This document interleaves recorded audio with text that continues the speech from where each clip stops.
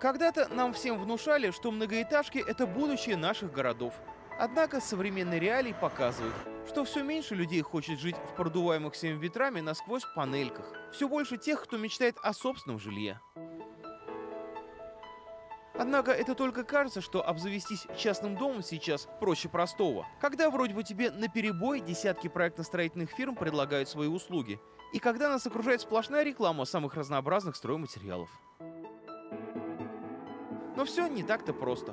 Это хорошо на собственном опыте узнал Владимир Ешурин.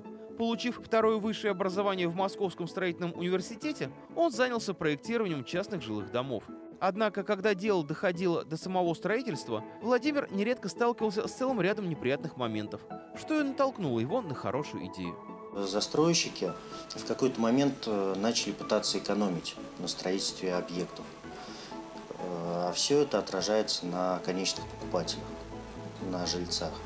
Мы э, попытались со своей стороны помочь и застройщикам, и, скажем так, жильцам чтобы всем было хорошо и свести золотую середину. Поэтому у нас родилась мысль попробовать э, сделать тот строительный материал, благодаря которому объекты будут строиться быстрее, качество страдать от этого не будет, и э, привлекательность тоже будет на высоком уровне. Поэтому у нас и возникла идея, которую мы очень долго вынашивали, мы несколько лет прорабатывали все это, разговаривали с технологами, поднимали историю вообще строительных материалов и в итоге пришли вот к такому строительному материалу, как замковый лего-кирпич. Так и появилась на свет молодая современная компания «Общество с ограниченной ответственностью «Рус Кирпич». Эта фирма вывела на рынок пока еще мало кому известный стройматериал – гиперпрессованный кирпич. Производителей пока еще достаточно мало. Мы проводили анализ в России таких производств именно автоматизированных ну, порядка, наверное, 10-15, может быть, на всю Россию.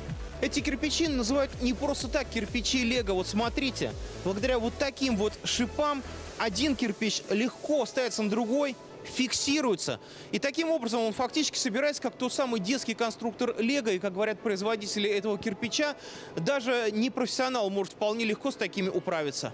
О том, как непрофессионалы могут без особых проблем выкладывать лего-кирпич, о том, как производится этот необычный стройматериал, нам рассказал человек, которого тоже зовут Владимир Ешурин. Да-да, это не совпадение. Он отец учредителя и генерального директора предприятия. Такова традиция – называть сына Владимиром. И получается, что русский кирпич – это фамильный бизнес.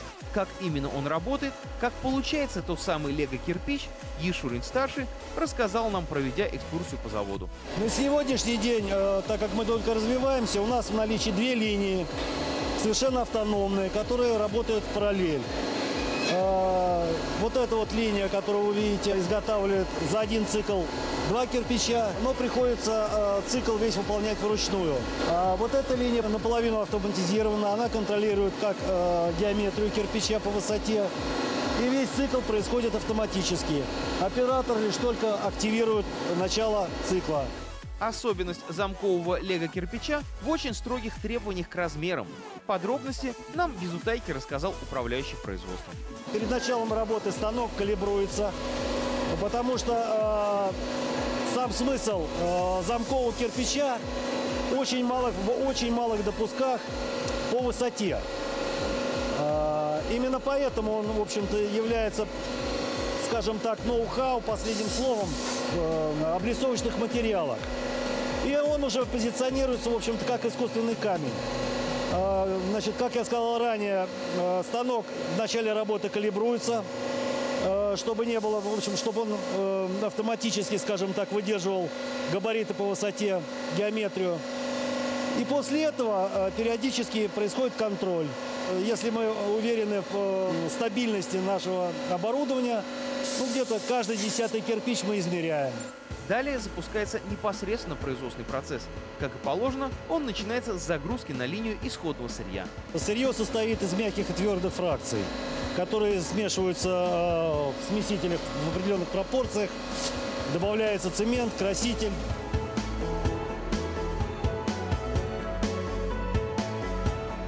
Сейчас наблюдаем, как готовое сырье из смесителя ленты подается в бункер прессового оборудования. После чего э, начнется уже непосредственно изготовление продукции.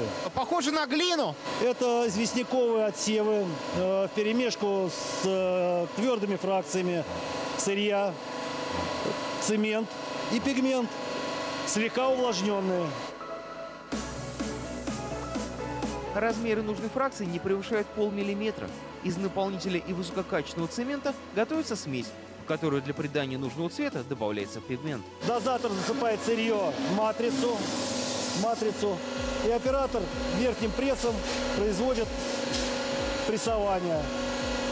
Порядка 37-40 тонн. Вот вышли два изделия. Они снимаются со станка и отправляются для пропарки парокамеру, где в дальнейшем в течение 10 часов э, кирпич пропаривается горячим паром для ускорения процесса полимеризации. При этом, чтобы добиться максимальной плотности структуры лего-кирпича, применяется так называемая когезия – холодная сварка. В результате частицы соединяются между собой на молекулярном уровне, и получается материал по своим характеристикам вполне сопоставимый с натуральным камнем. Как вы видите, на предприятии «Рускирпич» две линии. Одна из них автоматическая, где от человека нужно совсем немного. Вот здесь вы видите полуавтоматический пресс. Вот видите, активация только начала процесса. Дальше э, пресс выполняет все функции прессования в автоматическом режиме. В том числе контроль геометрии по высоте. То есть здесь оператор уже гидрораспределителем вручную не работает. Ну, в принципе, предусмотрен ручной режим. Но он используется только при калибровке и отладке пресса. Рабочий режим автоматический. Вот пресс начал цикл прессования сам в автомате. Здесь порядка 30 тонн на кирпич идет. Контроль давления. Вот выходит готовый продукт. И хотя вроде как вкалывают роботы, а не человек, параметры выпускаемой продукции тщательно измеряются. Причем счет идет в прямом смысле слова на десятые доли миллиметра. Ведь лего-кирпич в России хотя и является новым продуктом, но на него уже разработаны и утверждены все необходимые ГОСТы и СНИПы.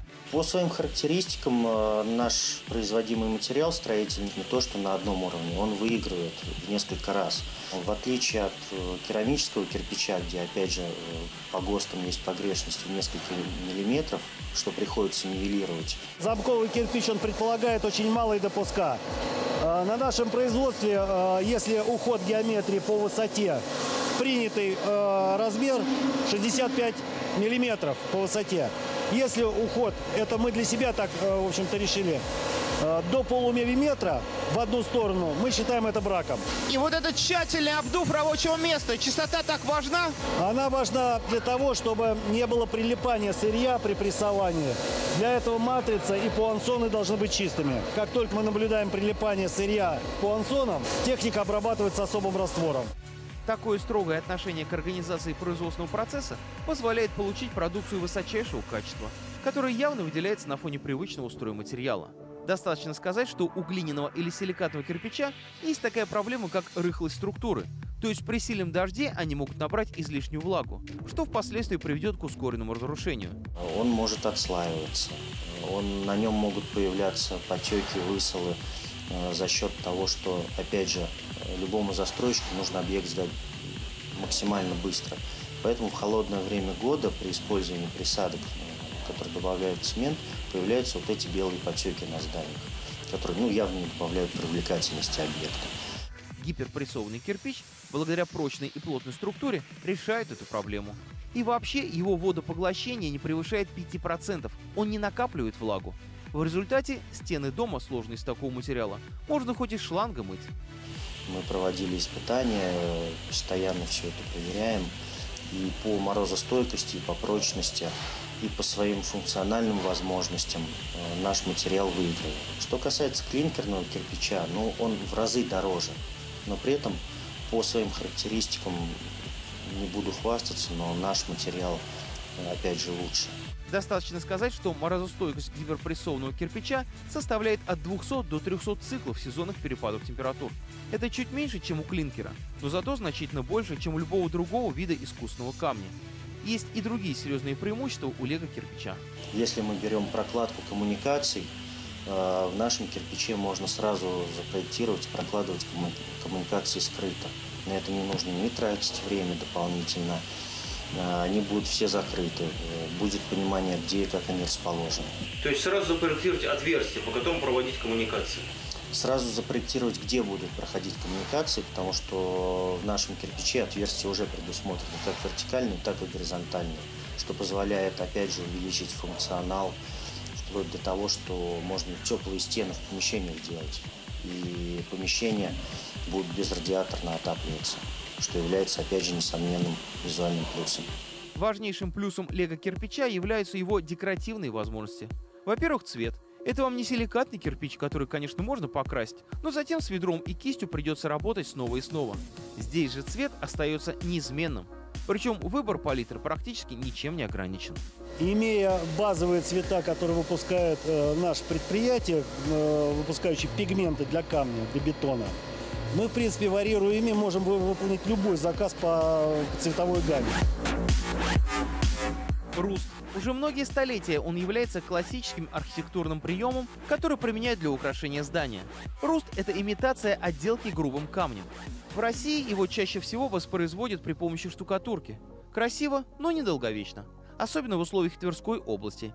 Гиперпрессованный кирпич – отличная альтернатива. Для производства кирпича с такой поверхностью применяется специальное оборудование. Гидравлический колонн. Кладется кирпич. Вот так раскалывается. Получается вот такая фактура. Кстати, вот эту плитку тоже можно использовать как отделочный материал. Если у вас есть загородный участок, то из лего-кирпича на нем можно выстроить практически все. От самого дома до любых декоративных элементов. Вариантов использования такого кирпича очень много. Это не только выкладка непосредственно стен домов. Например, можно изготавливать вот столбы для ограды. Можно изготавливать беседки, можно изготавливать беседки, в которых размещают мангалы и многое-многое-многое другое. Собственно, вариантов очень много действительно. Как мы уже говорили, важным плюсом использования лего-кирпича является простота укладки. Работать с ним можно довольно быстро научиться, даже не имея никакого опыта в профессии каменщика. За моей спиной вы видите вот стену, которую собирал человек, который э, ну, занимался этим первый или второй раз в жизни. Она вообще собрана как бы как конструктор Лего. Э, и рисунок, кстати, он же придумал. Мы его называем скандинавский джемпер. Вот. Стена собрана просто как конструктор Лего, вставлена композитная арматура и залита э, раствором. То есть э, мы видим, что э, внутри стены, стена сама стоит на так называемых э, импровизированных бетонных стержнях. И поэтому между кирпичом, в общем-то, если э, человек строит забор, беседку и герметичность складки ему не принципиально, можно идти по этой технологии. Просто сложить интересующий вас рисунок или цвет, причем утром переложить все это по-другому. В конце ставить арматуру, залить. Все, через месяц ее уже, так сказать, свернуть очень сложно будет, сломать. Скажите, а используется обычный раствор, который мы все привыкли использовать при выкладке обычных стен? Нет, это можно, конечно, использовать, но зачем это делать? Вообще, классическая схема, классическая технология, э, этот кирпич кладется на э, обычный клей для керамогранита, морозостойкий для наружного применения. Это лучше, чем если готовить раствор, привычный нам? Это технологичней, это экономней, это быстрее. И все это не в ущерб качеству, отмечает Ешурин-старший, в доказательство на деле демонстрируя надежность такого армирования замкового лего-кирпича, используя свой автомобиль.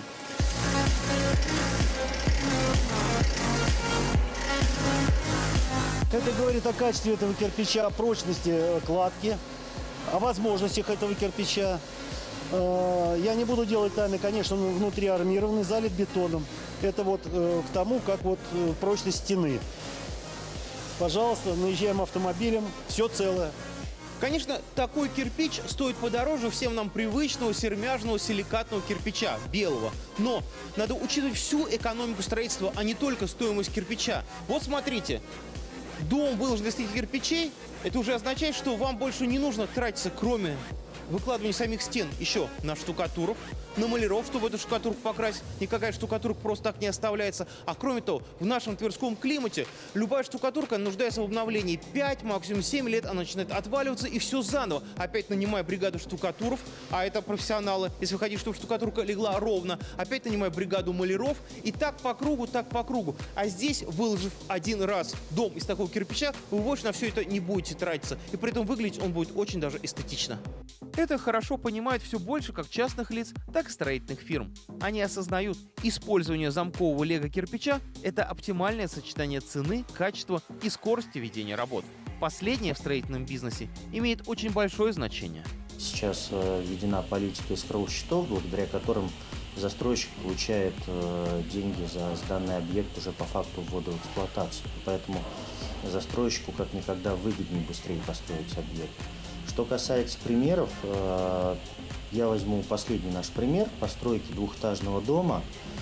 Э, бригада из четырех человек, два из которых каменщики и два подмастерья, дом полностью с нуля, с фундамента возвели за месяц под крышу.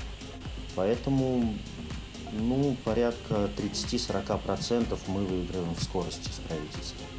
Что говорить про экономику строительства? В совокупности, если брать, порядка 15-20% экономичнее получается строительство.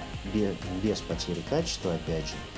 При этом для удобства клиентов компания «Рускирпич» создала сайт, где можно не только получить всю необходимую информацию о продукции, но и рассчитать количество кирпича, необходимое для строительства того или иного объекта. Тех, кто привык к более классическому стилю работы, ждут профессиональные менеджеры, которые также готовы либо по телефону, либо лично дать полную консультацию заказчика. У нас есть проектный офис, который может помочь рассчитать и количество кирпича, и нагрузку, и подсказать, э, какой фундамент, как лучше сделать под наш кирпич. В случае необходимости наши специалисты всегда готовы выехать, оказать услуги по шеф-монтажу. И даже наши бригады готовы подключиться к тому, чтобы научить, показать и помочь возвести здание строения. Популярность лего-кирпича стремительно растет. Причем среди заказчиков не только частники, которые сами себе возводят дома, но и статусные клиенты, имеющие всероссийскую известность. С прошлого года мы начали э, поставлять кирпич на строительство частных домов. Сейчас мы заключаем контракты уже э, с крупными застройщиками. Вот во Владимирской области компания «Доброград», мы с ними заключаем э, договор на поставку именно жилых комплексов. Это тот самый жилой комплекс Доброград, который строит основатель Асконы, да? Да, все верно. Известно всю страну. Им, им очень понравилось э, понравились те решения, которые мы им представили э, визуально, им понравились технические решения, которые можно воплотить в жизнь с помощью нашего материала. И э, что немаловажно, им понравилась именно экономическая составляющая, как стоимость единицы продукции – так и вся затратная часть при строительстве объекта. Неудивительно, что приток клиентов стимулирует думать об увеличении объема выпуска продукции, о расширении производственных площадей. Мы готовы увеличить до 10-15 тысяч.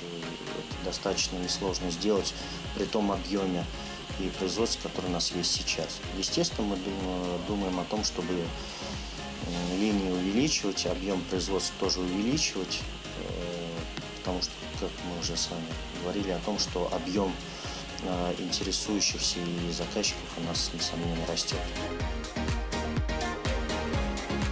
Естественно, в планах по производству привести все в порядок, э, поставить еще как раз вот мы готовим место под дополнительные линии, потому что понимаем, что объемы растут и нужно будет увеличивать производство. Стены будут э, все приведены в порядок, само собой. Э, дополнительно будет еще в планах построено э, рядом здание, которое тоже будет способствовать развитию производства. Сейчас вот мы готовим дополнительные площадки под хранение. Строительный сезон стремительно набирает ход. В компании «Рускирпич» отмечают, что их продукция не успевает залеживаться, и заказчики уже успели, что называется, протоптать дорогу по адресу город Тверь, Московский район, улица Бочкина, дом 27 или позвонив по телефонам 8 920 155 17 16, 8 926 422 99 39, ну или посетив сайт компании.